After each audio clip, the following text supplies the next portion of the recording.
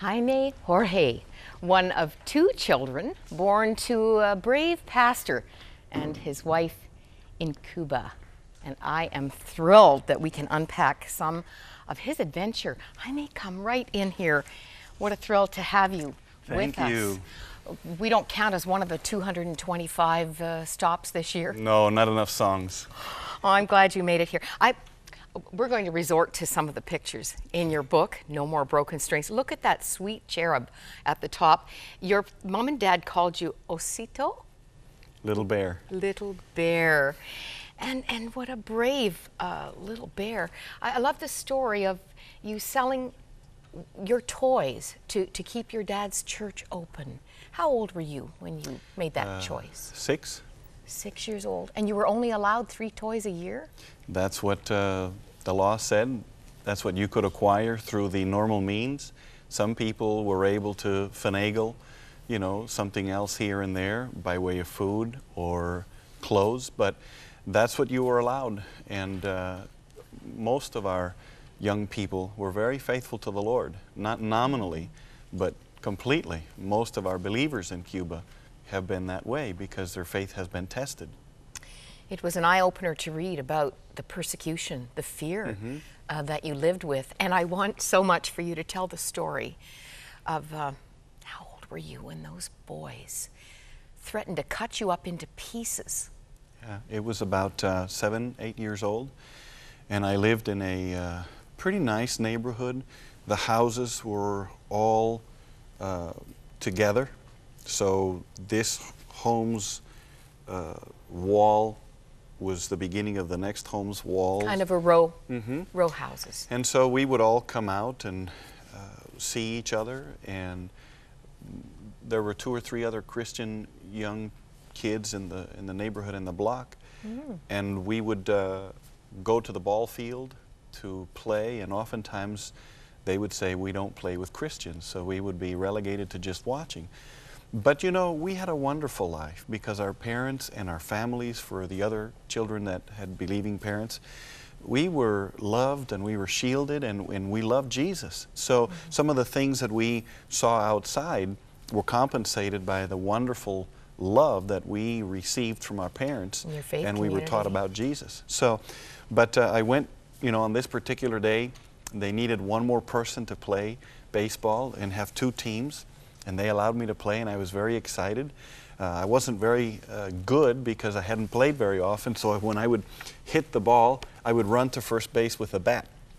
And the kids would have a good laugh at that. But I had a great game. I had a wonderful time. When it was all over, they made a circle around me, and the bully came to the middle of the circle and said, You believe in God, don't you? And I said, Yeah.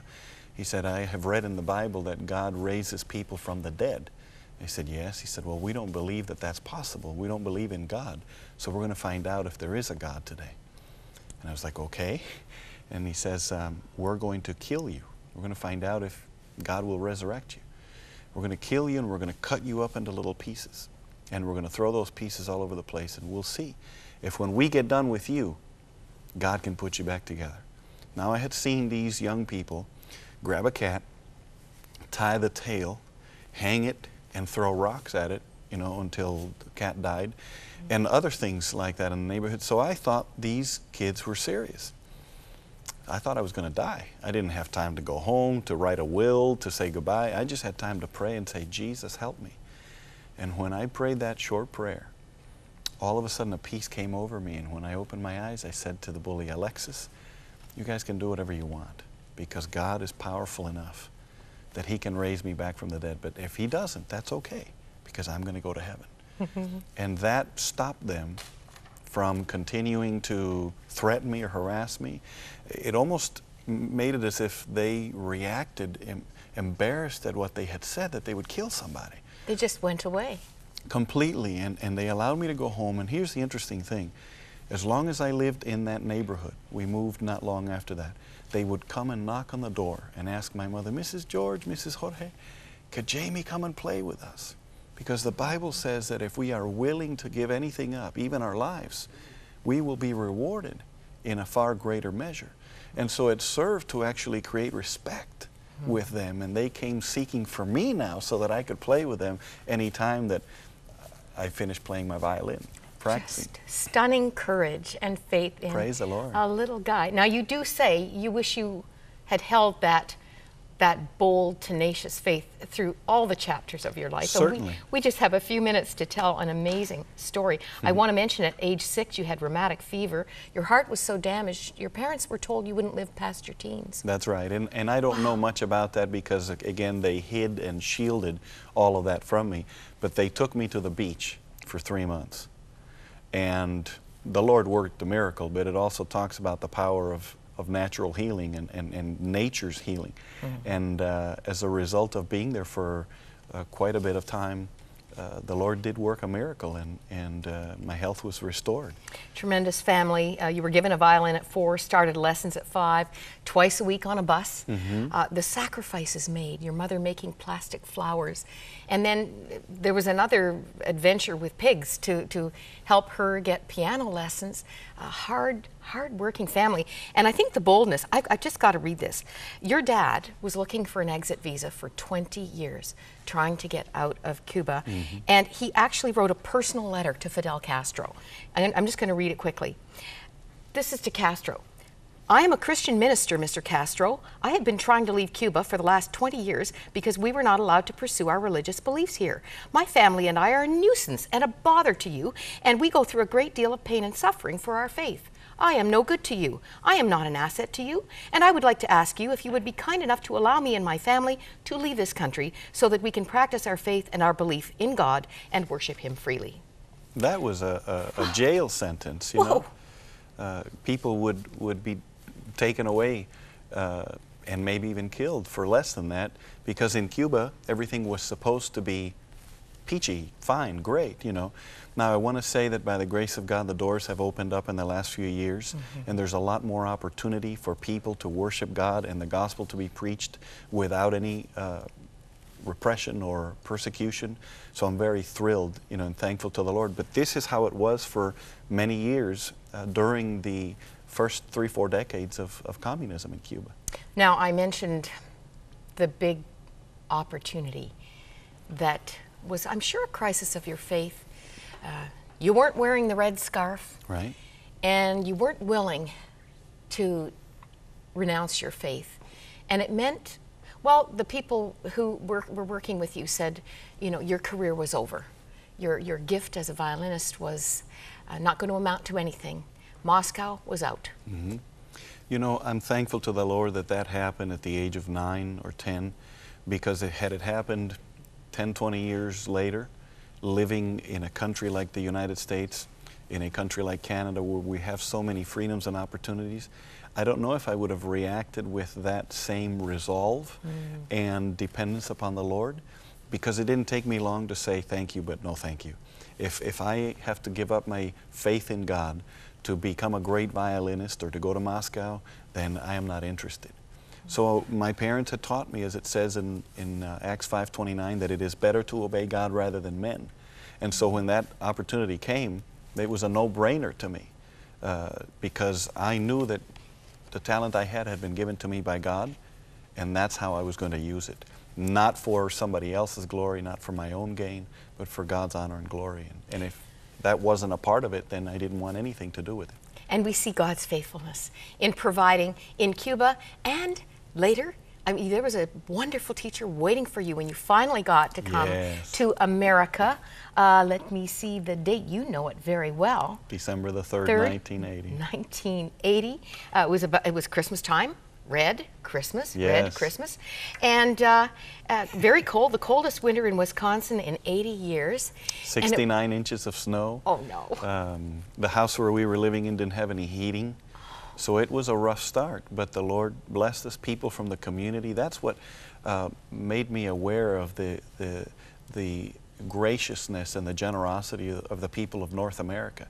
Very giving, willing to share uh, at any time. And they would come to our doorstep and leave blankets and food and clothing. And that's how my family got started. You didn't even know the notes No. for their names in music. That's right. You knew them as do, re, mi, right? and um, I, I just love that one of your first thrills, something you had always dreamed of doing, chewing gum. Absolutely. Not allowed in class, though. No, no, no. In fact, for many years in college, I would spit my gum out when I would walk in because that's what I was told. You can't chew gum in, in, in, in class. But chewing gum was like a luxury for me, a beautiful thing. It was cool to just be smacking your lips and you're, you know, going like that. So it was a beautiful thing. It's not going to be easy to see. Uh, just one other huge test of your faith, maybe one of the biggest ones linear, linear scleroderma. Yes. Am I saying it correctly? Can you see a, a, a ridge down here, and on, and really you can see some of the, maybe in the shading here. This was a disease that was eating through bone and muscle. That's right. It is an autoimmune disease. Um, when I began to see the work that it was doing, eating away at my face, I was angry and I blamed God and, and I was frustrated. I remember looking in the mirror and saying, Why are you doing this to me, God? Well, obviously, I was wrong. God doesn't cause bad things to happen to His children. Uh, I had this autoimmune disease, no way of knowing how or why I got it. But as I found out later, I was very fortunate because 90% of the people who have scleroderma, uh, it manifests itself in a systemic form, attacking joints, muscles, and organs of your body. Uh, and it's still a disease where there's not a lot of hope or help, uh, much less in 1990 when I was diagnosed with it. So they didn't know if this was systemic or, or it wound up just being localized. So even though it did some damage, it didn't go anywhere else. Imagine if it would have spread to my fingers. I would have lost the opportunity to be able to play the violin. The So, irony is, Praise God. and there's so much more to this story, but but two things wrestling through the whole journey because you were on a path in university to become a medical Mm-hmm. missionary, to become a doctor. And, and God wrestled you back to the thing you ke- seemingly kept running from. That's right. The violin. and, and, and the other part was the mischievous part of you, the little, Absolutely. little rebel who became a little petty thief too. but God just won you back through many things, and it's a wonderful story. Where is this book available? Through our website, www.jaimejorge or jamiegeorge.com. Oh, keep the Jaime Jorge. Okay. Don't let them change it. um, and, and beautiful music. I, I don't know if you're playing the violin that you say you treat like a member of the royal family. yes, most definitely. Is this the, the $20,000 violin? We're going to hear Which is a cheap violin, you know, compared to Stradivarius's and Guarnerius that uh, that cost three, four, five million dollars. But, you know, that's a lot of money for me. Makes a wonderful sound. Praise Don't put your knee through this one like you did one of the previous. Jaime Jorge, what a privilege to have you. When you're coming Thank through, please come again.